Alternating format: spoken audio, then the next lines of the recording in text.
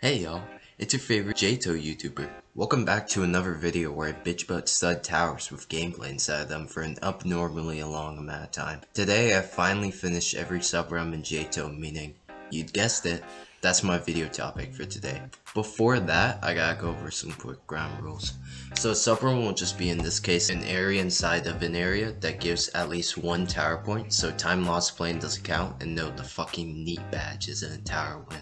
Also, I'll be putting all the towers at the end of the segment on a tier list, taking the average score, removing the best and worst towers to make it fair, and dictating the sub-realm placements with that. Got it? Good. Here's my ranking of every sub-realm in JToH.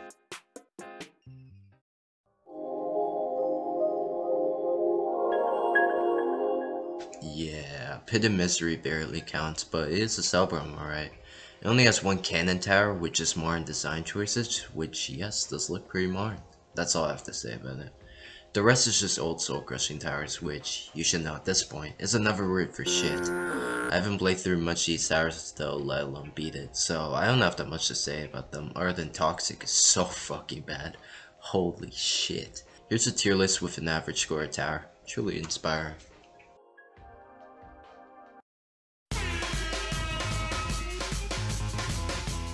Ah, fuck. Paradise Atoll was supposed to be an event. I guess that didn't work out.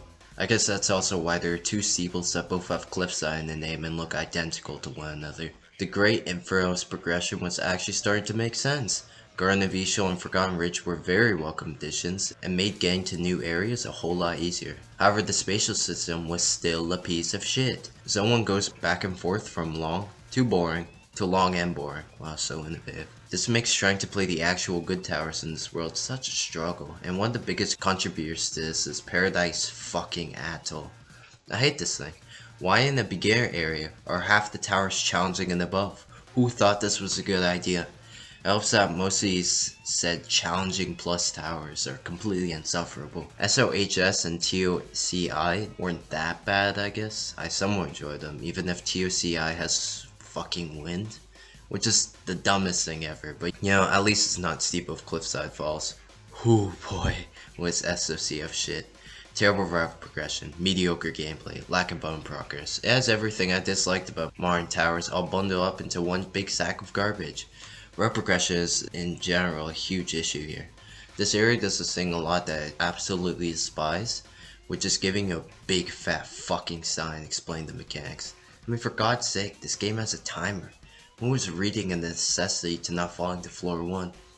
There's some other things I can complain about here too, like TOTTT and SODD, but I think you get my point by now that I don't like this area. I guess it wasn't all bad. The lobby was great, and I like SOMM and SOUB a lot. However, my main problem is even the quality of these things. It's the fact that this is in Zone 1. Beginners are going to go into this area and get half a tower point, as there is no medium steeple, and only one easy steeple. This area is a husk of what an actually good beginner area should be. But hey, on the bright side, it's only up from here, right?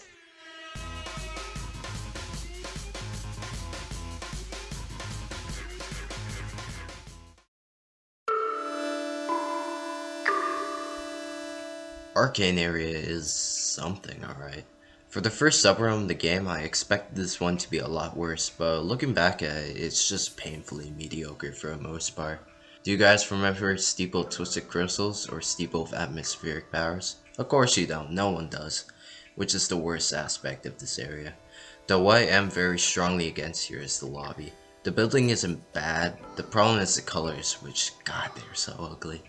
Also, in Neodemius' 75 Things That Annoy Me video, he said that the worst thing that can happen to a tower is it becoming a temporary tower. However, I disagree. Though I agree with everything else, please message me back, Neo. The worst thing that can happen is it becoming a fucking practice obby. I mean, sure, it's permanent, but be honest, none of you knew the steeple existed until the monthly challenge, despite being leagues better than almost everything else here. Another shit thing is these two. Yeah, SOME and SOWC. Which Calamity is one of those towers that doesn't seem like it's going to be bad, but then this, this, and this happens. Not to mention, the gimmick is pointless. Like, I never understood why people would put hand buttons slash keys in their tower, other than to be a complete jackass. And that's what I mean. Holy shit! I'm not gonna start with the steeple. All you need to know is that it's going into the F tier where it belongs. Anyways, the last two funny things about this area is it hosts one of the only gold star towers in the game, as well as a secret tower that unlocks if you beat everything here. Let's get the bad one out of the way. Yes, Magical Collaborations at what point has gold star. Why are you guys laughing? Yes, this mid-ass steeple was on the same level as really nasty ideas and orienting oscillating opinions.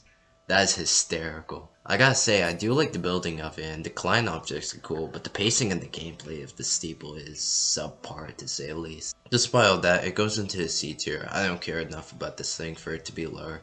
And at least it gave the ending of this area a cool feel, I guess. And last but certainly not least is Tower of Icy Adventures, which carries this shit hard. TOIA was always the underdog. It got removed from Arcane Area extremely quickly, as well as the revamp at one point, receiving a 6.5 out of 30. God damn. But finally, after long last, it got in, and what tower it is. I honestly like this more than Kohat. That's my terrible take for today. Kohat is incredible, but damn, there's a reason I haven't been in it. Shit takes half my day of sight, and unfortunately for me, I have something called a life. Icy Adventures is in that 30 minute range without dialogue, which makes it long enough to feel like an experience, but short enough to where my brain isn't melting by the end. S tier. But yeah, Arcane Area is not good. Here's my rankings.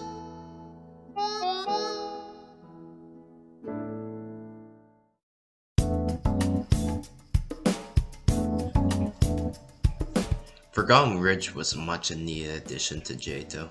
I've said already, but the game has really bad progression, so it's nice to add something like this, which is not only beginner friendly, but has some nice challenges for more intermediate players in the game. Well, nice kinda. The hard towers go from, okay that was pretty good to, what the fuck they just play? A lot of this area is like that.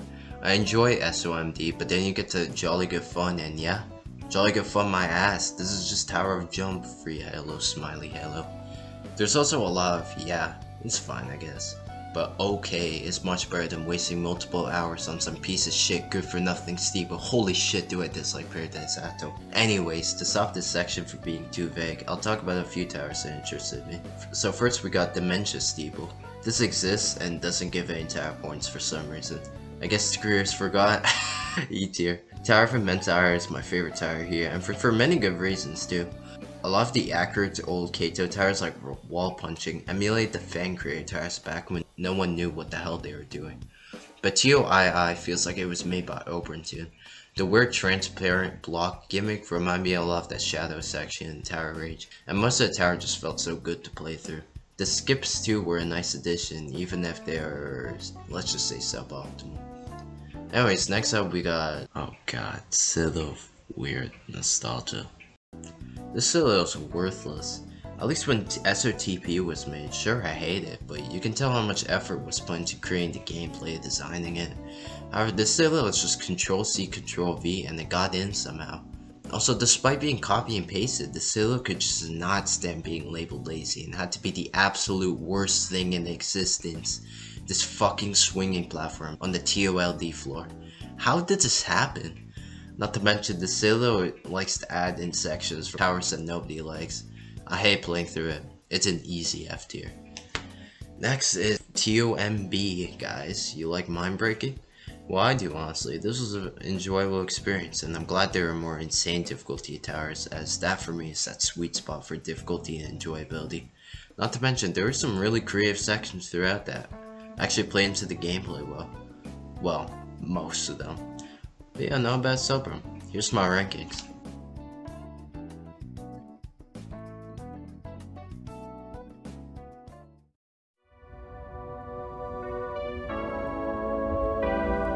Lost River was surprisingly fun to complete. I didn't expect some old ass whitelisted towers to be this enjoyable, but hey, what do I know, it's number 3. I guess we gotta go over the dog shit first, which actually wasn't that bad. Set of uh, inside situations is just odd. I didn't hate it, but there were a bunch of sections that were just needlessly tedious and diverging layers. First off, god damn is floor 1 bright. At second, floor 10 was so bad. I actually called it because it was taking way too long, but besides that, this again wasn't that terrible. I like how unique most of the towers here were. We got some cool ass towers like Losing Our Seal and Triple Jeopardy that didn't have to needlessly focus on design. Though holy shit Triple Jeopardy is ugly. Not to mention there are some very quality creations here which I will go over now. Tower of Odyssey was a really nice experience.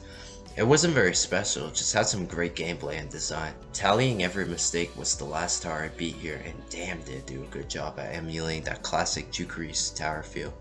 Also, it improved on a lot of aspects too that I feel like Juke lacks on, like the gameplay and the route progression. I did all this tower without a guide, and I gotta say, it does an excellent job explains its client objects. Unlike a certain area, Totem respects the player as an actual human being.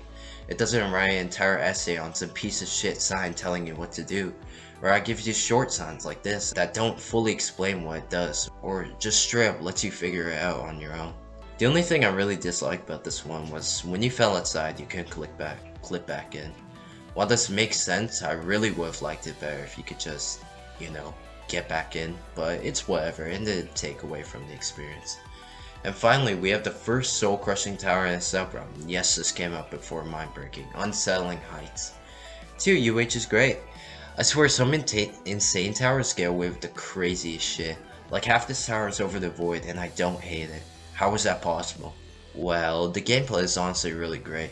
I like how it's kind of in between of really complicated gameplay and super simple Kato stuff. And stuff like Floor 5 just had some nice ass jumps. And the design and color scheme are weirdly pleasing. Like it's just a bunch of random colors, yeah, it looks so good. My only problem is 7, which has some really awkward jumps, and the thing on 8, which is the cause of 90% of my fails. So I jump too early and don't get enough height, however when I jump too late, I get shoved off. Yeah, I don't like this thing, but besides that, this is some incredible shit. I'm surprised I like this area as much as I did. Here's my ratings.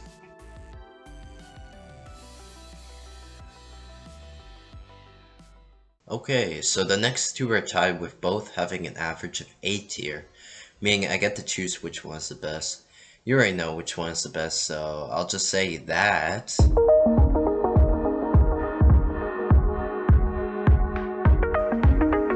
Garden of Eeshol is number 2. Okay, so Garden of Eeshol, go into this big ass waterfall, do some gameplay, and wow, what a lobby. I haven't been talking about the lobbies that much, but besides Arcane Area, all of them are incredible. This especially.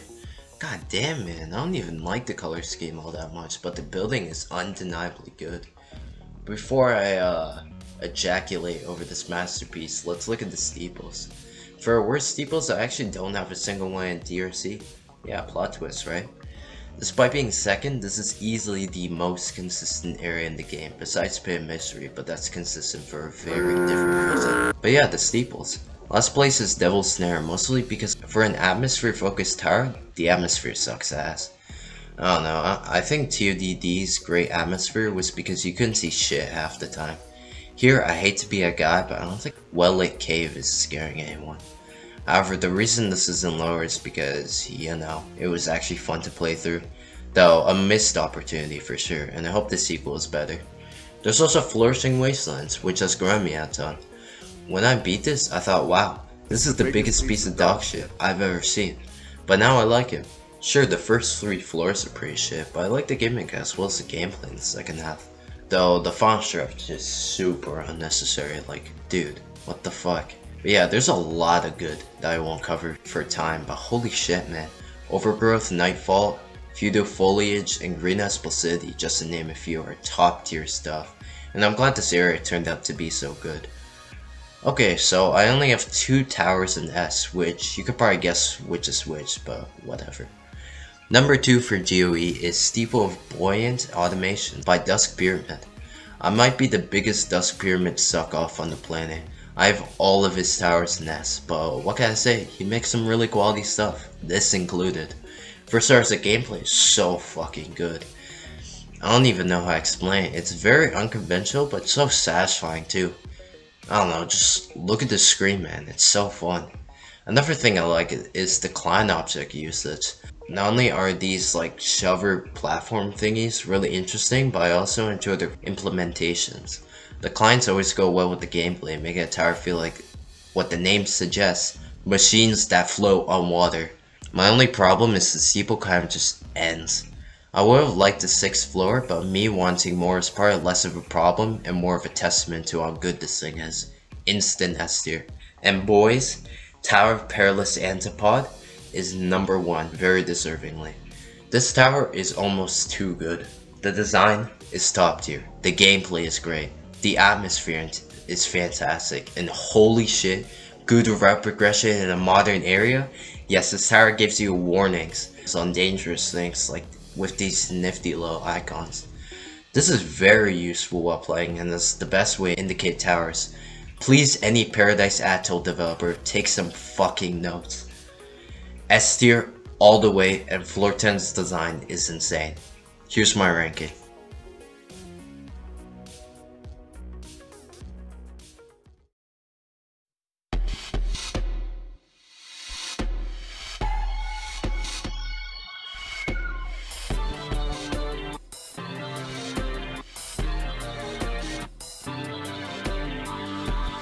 Well, this is it. Silent Abyss number one.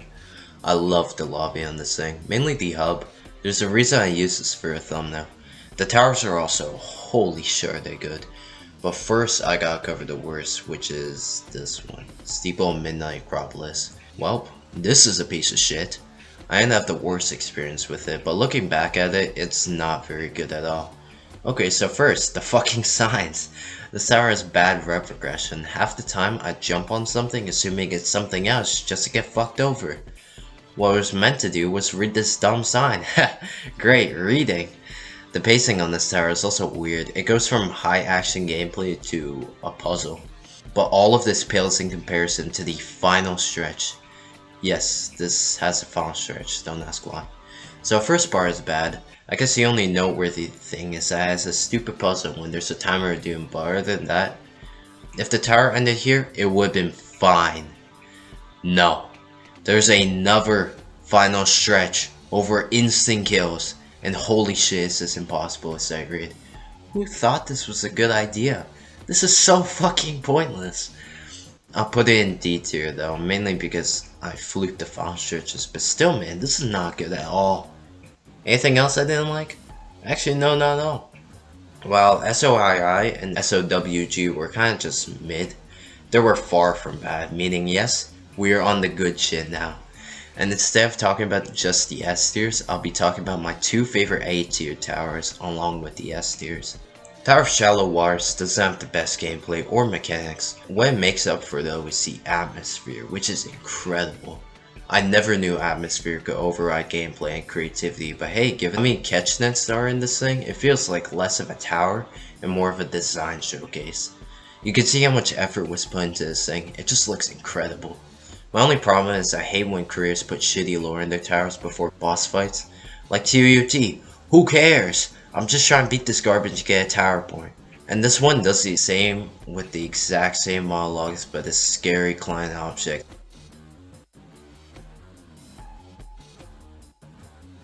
Like, dude, is this necessary? No, fucking isn't. And I would preferred it if I could just skip the dialogue, but it's still A tier. Tower of There Is No Tower is another impressive tower. Or, not tower, I guess. Like, the building on these sections is incredible. The gameplay isn't half bad, and the voice acting is peak. You destroy it, bro. That I just gotta, I gotta pay for that now. Can you please just stop vandalizing my tower and leave? Where was this voice actor behind this masterpiece when Breaking Bad was still getting new seasons? He would have found his true calling in this show. Gustavo Fring. Speaking of Breaking Bad, the fucking Mike Ehrmantraut speech at the end was way too funny. I don't even know why. Okay, so the S tier. First we got... God damn it again? I told you I was a Dusk Pyramid suck off. The steeple of Ma... Ma... Maling... Yo, how do you say this shit? SOMB has some of the best gameplay of his subrealm, not to mention it actually has a good conclusive ending, unlike his last steeple. This one was a blast to play through. S tier though. Next is Tower of 10 to, to Christ, where are these fucking names? Tower of Tenebris Depths is Tower of Perilous Antipode but dark. I like the building here a lot. The color scheme reminds me a lot of an old Roblox Halloween event, and the gameplay is, it's so good. Like TOPA, it has these nice little indicators, which yes, are still just as good and useful. I honestly probably like this one more than TOPA as S is cool ass boss. Not only is the music great, holy shit I need to finish this game. But there's, oh ah, fuck, there's a monologue. It's okay though, because the boss isn't just jump over obstacles until time runs out. You gotta shoot stuff like keys to access buttons, and it's just really nice. I'll be a little too easy. Even without healing items, I don't think my health would ever drop past 70. But uh, who the fuck cares? This tower is still getting a very deserved S tier. And for my final S, are you surprised? Tower of Ancestral Interferences. Oh my god. I have too much to say about this tower. I'll be talking about this one in another video. For now, it's the easiest S on the planet. Here's my rankings of this area.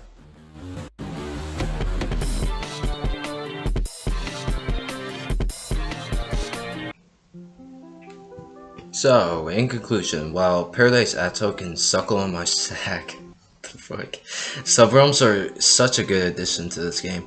Not only do they give new players much easier tower points, but the quality of these areas are up to par and hell better than most of the new zones. After Zone 8, I was like, damn, I guess I don't like Modern Towers anymore, but playing through Silent Abyss was just the best experience possible. Also, yes, I know that there's a Ring 6 sub-realm coming soon, but knowing the JToH team, this shit is gonna take like 6 months at the very least. Though I'll definitely cover it once it comes out. Alright, that's it, and thank you so much for the overwhelming amount of support I've garnered. I didn't think I would get this I would be this close to 100 subscribers this quickly, but here we are. I want to make it my goal to get 200 subs by the end of the year. So if you made here and enjoyed the video, subscribe.